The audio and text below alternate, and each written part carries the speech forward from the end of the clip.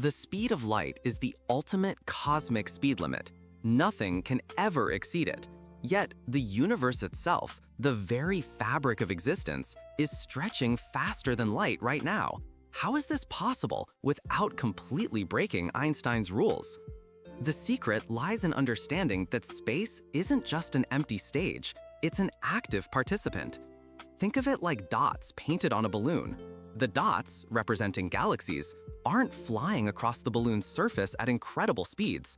Instead, the balloon itself is inflating, stretching the space between them.